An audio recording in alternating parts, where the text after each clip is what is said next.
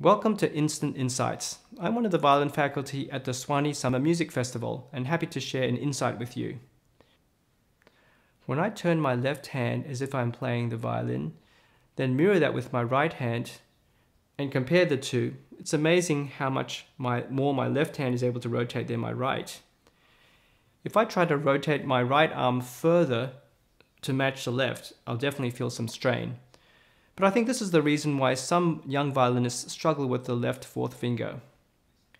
I sometimes come across students whose pinky collapses when they press on the fingerboard. I'm talking specifically about this joint. It usually happens at an early age when kids first start learning the violin because the pinky is outstretched, trying to play the fourth finger high enough. This habit can extend to adulthood. Unfortunately, it can make it difficult to play with agility and without tension. Vibrato can also be a challenge when that joint is collapsed. Although the pinky, the pinky is a, a weak finger compared to the other digits, so this collapsing can happen in both hands. Here are my suggestions.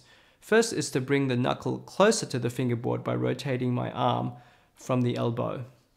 This is where some strain might be felt, as I mentioned in the beginning.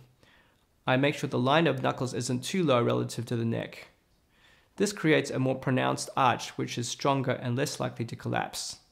The second is to make sure the elbow is in the right place, sometimes hanging vertically and sometimes a little to the right, especially if you're on the D or G strings.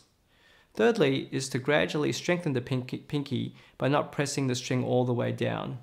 If you're on the E string, which is an easy string to begin with, aim for B flat and lightly tap the third and fourth fingers together and gradually increase pressure until the string contacts the fingerboard, but only as long as there is no collapsing. You can gradually increase the space between your third and fourth fingers as long as the fourth finger remains curved. A way you can straight, strengthen the pinky uh, without the violin is to, to touch your pinky and thumb so it makes an arch.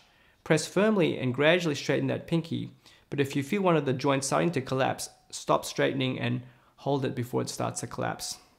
You can also try this with a peg, which will give you some resistance. Here is an exercise to help keep the shape of the fourth finger.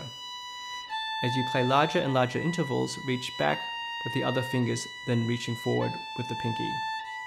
The trickiest interval is the low second finger.